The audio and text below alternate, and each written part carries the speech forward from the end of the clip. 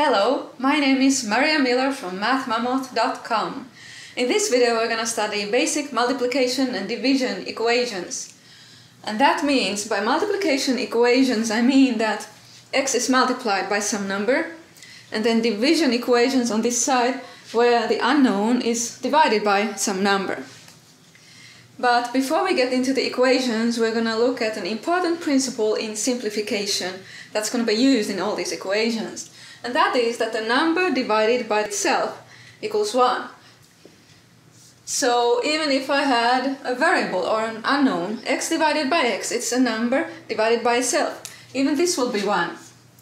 And then, of course, the same applies if you have a negative number. Negative 4 divided by negative 4 will equal 1. And the way we will use it is in this kind of a context. Let's say you have 6 times 7 divided by 6. What will that be?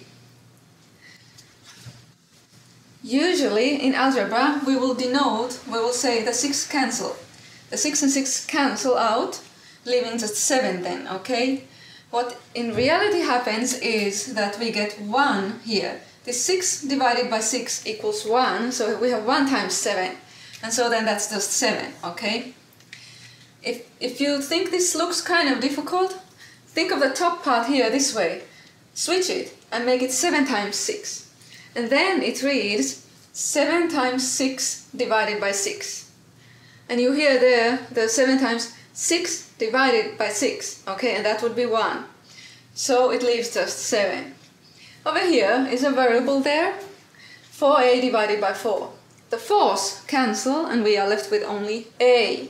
Or think of it as 4 divided by 4 being 1 and then 1 times a is a. Okay?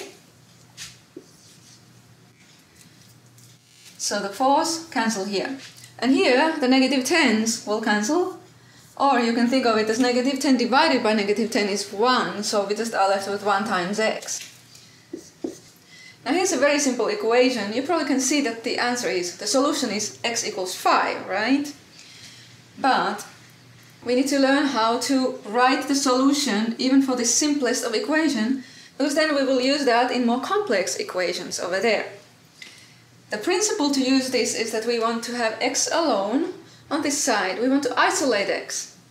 So since x is multiplied by 3, we will undo the multiplication by 3 by dividing both sides of the equation by 3.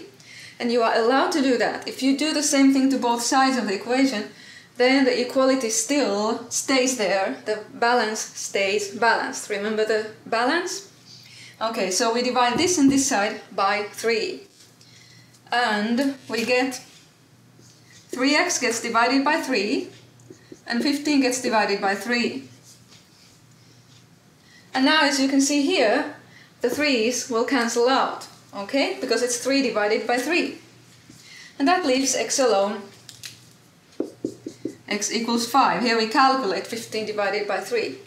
Let's do the same with negative 15.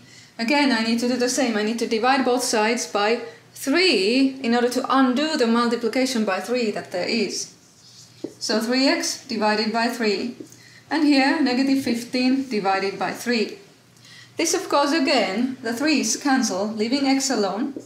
And here we calculate this, and now this time it is negative 5. Once you get your answer, once you get what x is, then check if that is really true. And put this value over here in place of x. Substitute it there. 3 times minus 5, is it really negative 15? Yes, it is. So it checks. Over here, look, the variable is multiplied by a negative number, negative 4. So we need to divide by this number. Both sides need divided by negative 4. So we have negative 4a divided by negative 4. And over here 24 gets divided by negative 4. And over here these cancel, so we are left with a alone. And over here we get negative 6.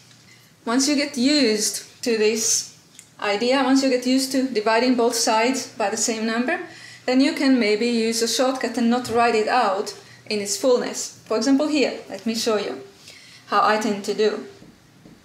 Negative 7y equals negative 700.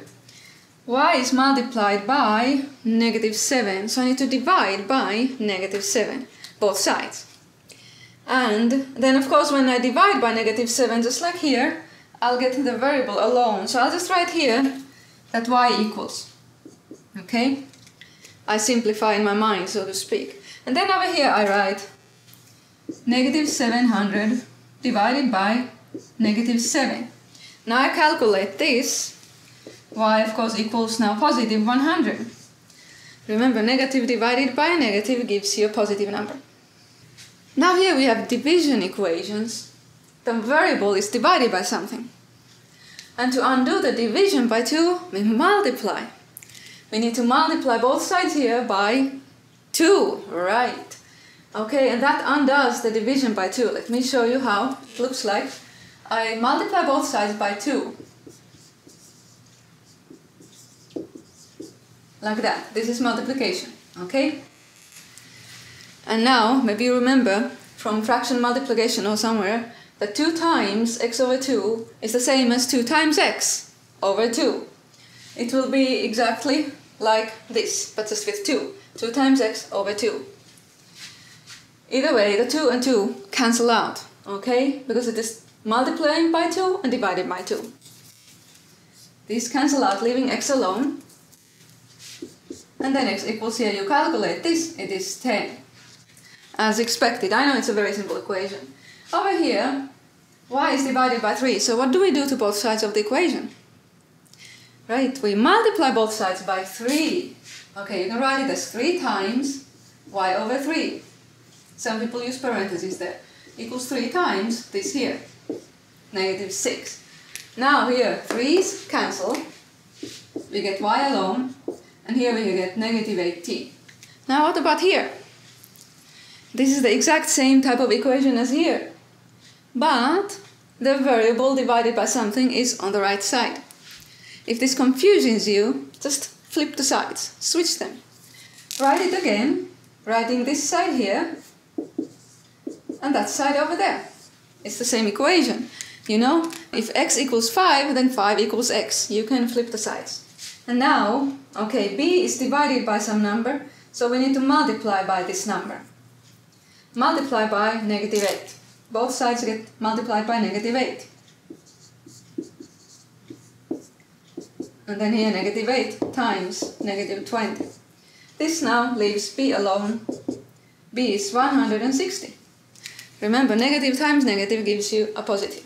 Over here, this is very the very same type of equation. It's a simple division equation because the variable appears only here and is divided by something. The only difference is here that we have on this side something we can calculate, we can simplify it. We can calculate 3 minus 5. It's negative 2. Now, if it looks confusing to you, then flip the sides. This time I'm not going to flip the sides. I'm going to multiply both sides by 3. So we get 3 times negative 2 equals 3 times that. Okay, and the 3's cancel here. And then we are left with this, which is negative 6 equals n. Now I'm going to flip it, because it's usual for us to write n equals instead of number equals n. Over here, the same situation, we have here something that we can calculate or simplify. So let's do that. 2 plus negative 3, well that's negative 1.